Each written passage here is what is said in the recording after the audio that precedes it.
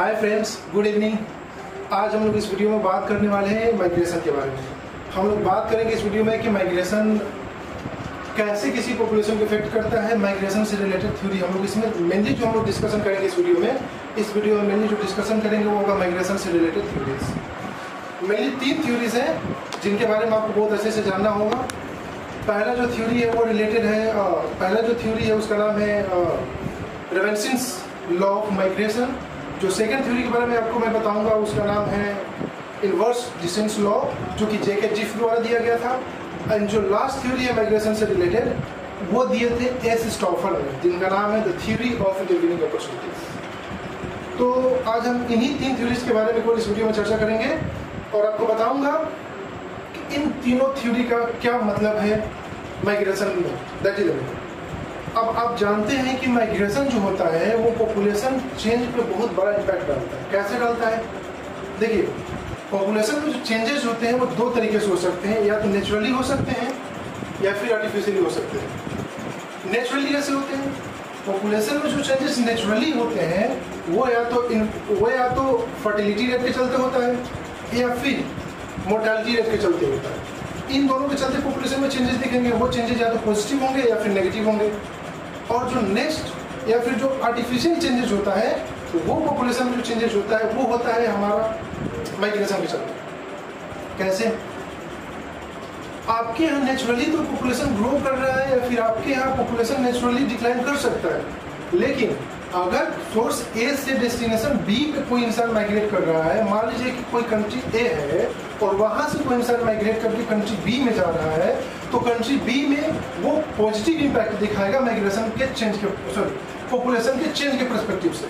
क्योंकि population B के लिए वो तो क्या होगा? पॉजिटिव ही तो चेंज होगा ना, क्योंकि उसके पास में पॉपुलेशन एक्स्ट्रा ऐड हो गया, कोई दूसरी जगह से आई वो पॉपुलेशन वो अपने यहाँ कंटेन कर रहा है। इसीलिए पॉपुलेशन बी के पास में जो होगा कंट्री बी के पास में जो होगा, वहाँ पे पॉपुलेशन में इंक्रीजमेंट देखने को मिलेगा, जो कि नेचुरली नहीं हुआ है, ये आर्टिफिशियली हुआ है। मतलब वो माइग्रेशन के चलते हुआ है।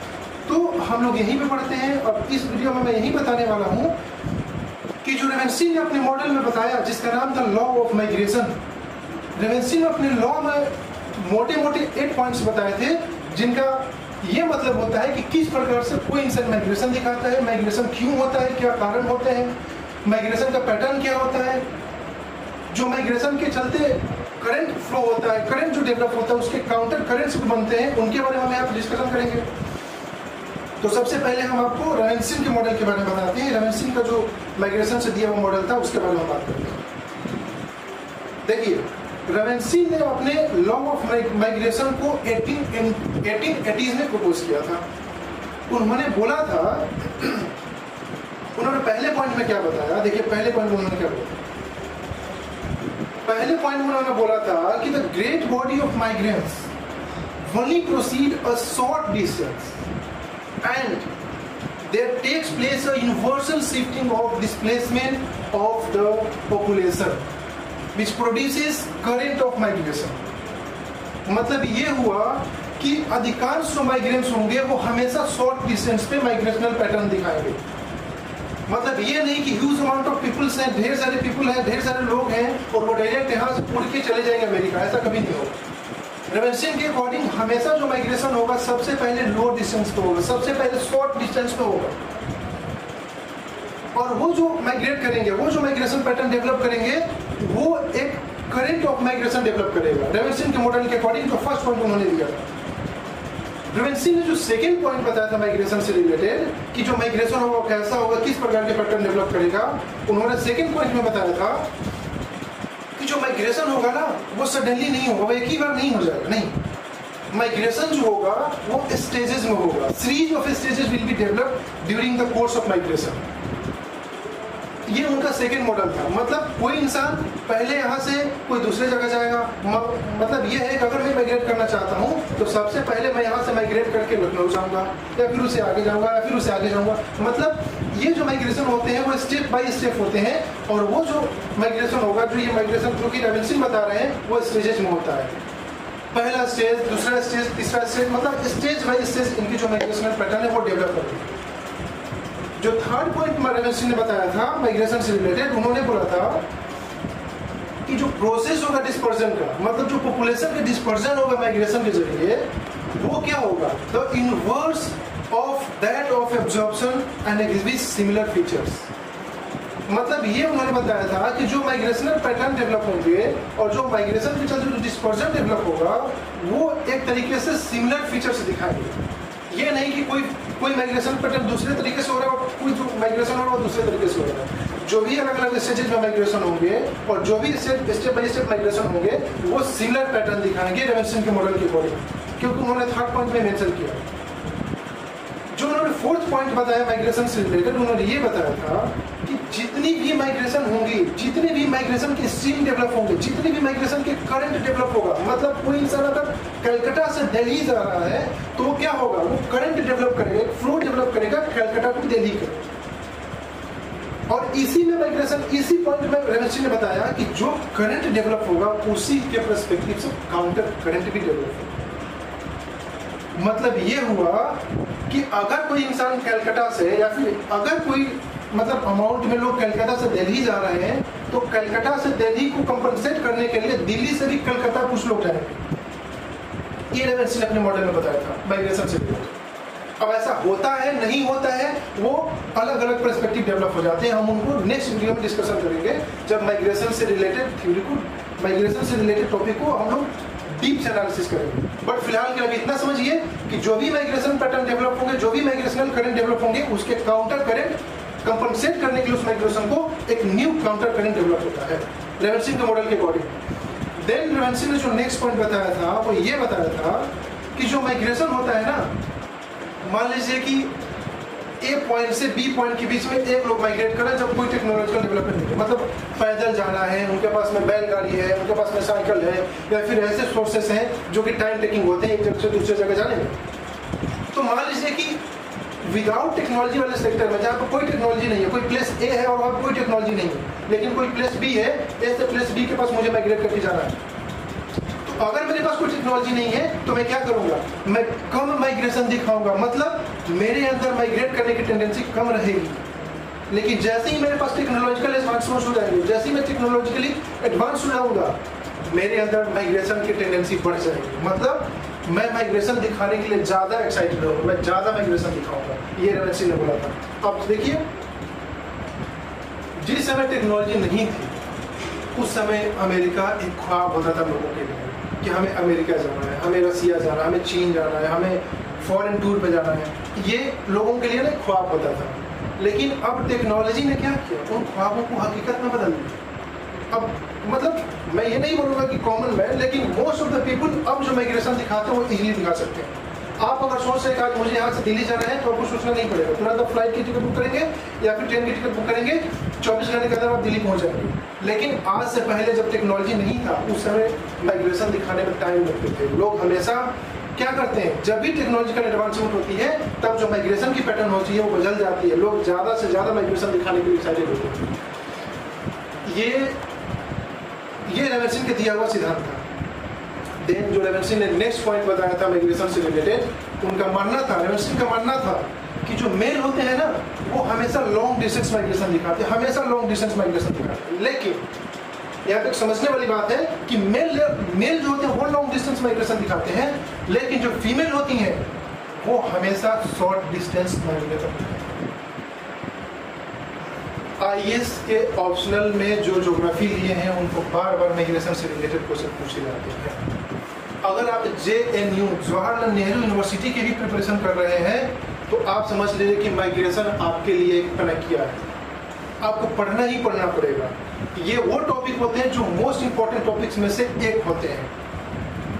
तो ये था कुछ पॉइंट्स जो कि रेवेंसी ने अपने माइग्रेशनल मॉडल यानी कि जो उन्होंने लॉ दिया था द लॉ ऑफ़ माइग्रेशन जो कि एटीन एटीज में उन्होंने प्रपोज किया था, उन्होंने उसमें कुछ पॉइंट्स बताए। देन हमारे पास में नेक्स्ट आती है, जो है जीफ जेके जीफ जेके जीफ ने एक प्रिंसिपल दिया था जेके जीफ ने थ्योरी दिया था माइग्रेशन से रिलेटेड उन्होंने दिया था इनवर्स डिस्टेंस लॉ देखिए रेवेंसिन बहुत बड़े महान जोग्राफर थे। उन्होंने जो थ्योरी दिया था माइग्रेशन से रिलेटेड वो एक तरीके से पाइनियर थ्योरी था। हम बोल सकते हो पाइनियर थ्योरी था। और जो भी पायनियर थ्योरी होता है, उसमें कुछ ना कुछ खामियाँ तो होती होती है। और उसी को जो आगे आने वाले जोग्राफर होते हैं ना, थोड़ा सुधार करते हैं, थोड़ा मॉडिफाई करते हैं, थोड़ा उसमें कुछ न्यू कंटेंट ऐड करते हैं और एक न्यू थ्योरी प्रपोज करते हैं। ऐसे ही एक बहुत बड़े जोग्राफर जो दूसरे नंबर बहुत बड़े जोग्राफर थे, जिनका नाम जेके जीव था उन्होंने यही किया कि जो रेवेंस्टीन ने मॉडल बताया था माइग्रेशन का उसमें उन्होंने कुछ सुधार किया। और उन्होंने बताया कि भैया देखिए कुछ तो इसमें बात ऐड करनी पड़ेगी। और उन्होंने एक नया वर्ड ऐड किया। उन्होंने एक, एक सेंटेंस दिया जो कि पूरी की पूरी क्रक्स था जेके जी की माइग्रेशनल प्रिंसिपल पूरा क्रक्स था उन्होंने क्या बताया? ध्यान से सुनिएगा उन्होंने बोला कि the volume of migration is inversely proportional to the distance travelled by the migrants मतलब ये हुआ कि जितना ज़्यादा डिस्टेंस होगा, उतने ही कम लोग माइग्रेशनल दिखाएँगे पैटर्न और जितनी कम डिस्टेंस होगा, उतने ही ज़्यादा लोग माइग्रेट होंगे। मतलब यहाँ समझने के लिए मैं आपको एग्जांपल दे सकता हूँ कि अगर मुझे या फिर इलाहाबाद के लोगों को माइग्रेट करना होगा तो सबसे पहले वो या तो बनारस माइग्रेट करेंगे या फिर लखनऊ माइग्रेट करेंगे। लेकिन यहाँ पर जो माइग्रेशन होगी, वो दिल्ली माइग्रेट करने के मुकाबले सबसे ज़्यादा होगी। क्योंकि यही जेके जीफ ने बोल दिया था। जेके जीफ ने बोला कि जैसे जैसे डिस्टेंस बढ़ेगा, वैसे वैसे माइग्रेशनल पैटर्न में कमी देखने को मिलेगी। कम डिस्टेंस पे ज़्यादा माइग्रेशन लोग पैटर्न दिखाएँगे, ज़्यादा डिस्टेंस पे कम टेंडेंसी लोग दिखाएँगे माइग्रेट होने की ये था जेके जीफ की पूरी की पूरी प्रिंसिपल का क्रक्स मैं आपको एक बात बताना भूल गया रणसी ने यह भी बोला था कि जो माइग्रेशन होता है वो सेम कल्चर में ज़्यादा होता है। मतलब अगर आप कल्चरल डिफरेंसेस दिखाएँगे तो आप में माइग्रेशनल पैटर्न की टेंडेंसी कम हो जाएगी। अगर आप माइग्रेशन दिखाने के लिए सोच, अगर आप इलाहाबाद में माइग्रेशनल पैटर्न दिखाना माइग्रेशन टेंडेंसी दिखाने के बारे में सोच रहे हैं, ऐसा है तो सबसे पहले आप बनारस माइग्रेट करने की टेंडेंसी क्योंकि इलाहाबाद की कल्चर और बनारस की कल्चर सिमिलर ही है। लेकिन यहाँ पे माइग्रेशन लखनऊ में कम होगा क्योंकि लखनऊ की जो कल्चर हो जाती है ना, थोड़ा सा इलाहाबाद से अलग हो जाती है। तो ये एक ये एक रेवेंसिन के मॉडल में एक पॉइंट था कि कल्चरल सिमिलरिटी कल्चरल सिमिलरिटी ना बहुत बड़ा मायने रखता है माइग्रेशन से रिलेटेड तो मैंने आपको बता दिया जेके जिफ के बारे में भी कि जेके जिफ ने बोला था कि जैसे जैसे वॉल्यूम इंक्रीजमेंट होती है मतलब जैसे जैसे डिस्टेंस बढ़ता है वैसे वैसे माइग्रेशन में टेंडेंसी माइग्रेशन में जो होती है वो कमी होती जाती है। लोगों में टेंडेंसी कम हो जाती है माइग्रेशन दिखाने की अब जो यहाँ पे जेके जीफ ने दिया था जेके जीफ के पॉइंट को और वेंसिन के पॉइंट को दोनों को मॉडिफाई करके एक नया प्रिंसिपल देने वाले इंसान थे और वो थे एस स्टॉफर एस स्टॉफर ने भी एक थ्योरी दी और इन जो दोनों में कमियाँ थी या फिर नहीं थी तो उन्होंने एक नई पॉइंट ऐड करके अपनी थ्योरी को प्रपोज किया। उन्होंने अपने थ्योरी में कुछ नया ऐड किया था। स्टॉफर एस स्टॉफर जो बहुत बड़े जोग्राफर थे, उन्होंने 1940s में अपनी थ्योरी उनके थ्योरी का नाम था the theory of intervening opportunities देखिए, आप नाम ही डिसाइड करते हैं इंटरविनिंग अपॉर्चुनिटीज़ पूरी की पूरी थ्योरी की इनकी क्रक्स थी दो वर्ड इंटरविनिंग अपॉर्चुनिटीज़ इसका मतलब क्या होता है? देखिए, अगर कोई पॉइंट ए है और एक पॉइंट बी है और बीच में पॉइंट सी है, मैं पॉइंट ए पे रहता हूँ। ठीक है? मेरी एस्पिरेशन ज़्यादा है मैं नाइट लाइफ जीना चाहता हूँ, मैं पार्टी करना चाहता हूँ। मुझे नाइट लाइफ पसंद है, मुझे डे लाइफ पसंद नहीं है। मैं इंजॉयमेंट करना चाहता हूँ, मुझे ओपननेस पसंद है। ये सब है। जो पॉइंट ए है, वो इलाहाबाद है मान लीजिए और जो पॉइंट बी बताया था, वो बेंगलोर है। और जो पॉइंट सी बताया था, वो बनारस है। तो जो एस स्टॉफर ने बताया था, वो ये बताया था कि अगर कहीं पे भी मतलब मैं पॉइंट ए पे हूँ और बेंगलोर मेरे से बहुत किलोमीटर दूर है। अगर मुझे बेंगलोर जाना है तो बेंगलोर के पास में इतनी औकात होनी चाहिए, इतनी पावर होनी चाहिए कि मुझे खींचने की क्षमता रखता हूँ। मतलब ये बोलने का मतलब यहाँ पे है कि अगर बेंगलोर के पास में ज़्यादा अपॉर्चुनिटीज़ नहीं होगा तो मैं बेंगलोर में माइग्रेशन नहीं दिखाऊँगा मैं बनारस जाऊँगा यही होता है इंटरग्रेडिंग अपॉर्चुनिटीज़ मतलब अगर मुझे लॉन्ग डिस्टेंस या मुझे अगर लॉन्ग माइग्रेशनल पैटर्न दिखाना होगा तो जिस जगह पे मैं जा रहा हूँ, वहाँ पे कुछ ऐसा खास होना चाहिए जो कि मुझे वहाँ पे वो अट्रैक्ट कर सके। अदरवाइज़ मैं वहाँ पे नहीं जाऊँगा। यही होता है, यही होता है एस ऑफ़र के अकॉर्डिंग उन्होंने बोला था कि directly proportion to the number of opportunities मतलब the number of person going to a given distance is directly proportional to the number of opportunities at that distance. मतलब अगर जहाँ पे कम अपॉर्चुनिटी होगी, वहाँ पे ज़्यादा लोग माइग्रेशन दिखाएँगे। मतलब मतलब ये सॉरी मतलब ये हुआ कि अगर मुझे ज़्यादा डिस्टेंस कवर करना होगा तो इसका मतलब ये हुआ कि वहाँ पे ज़्यादा अपॉर्चुनिटी होनी चाहिए। अगर मैं कम डिस्टेंस पर माइग्रेट कर रहा हूँ, इसका मतलब वहाँ पे कम अपॉर्चुनिटीज़ है। ये बताया था किसने? ये बताया था स्टॉफर ने। तो ये तीन थ्योरीज थी माइग्रेशन से रिलेटेड जो कि ये बताता है कि किस प्रकार से आर्टिफिशियल चेंजेस होते हैं पॉपुलेशन चेंज पॉपुलेशन में किस प्रकार से आर्टिफिशियल चेंजेस होते हैं। तो इस वीडियो में बस इतना ही। नेक्स्ट वीडियो जो मैं बताऊँगा, वो बताऊँगा कि पॉपुलेशन चेंज होता क्या है। और जो पॉपुलेशन चेंज के दो अदर एस्पेक्ट है, यानी कि फर्टिलिटी रेट में इंक्रीजमेंट और डिक्रीजमेंट या फिर मोर्टालिटी रेट में इंक्रीजमेंट और डिक्रीजमेंट वो मैं कवर करूँगा। Thank you so much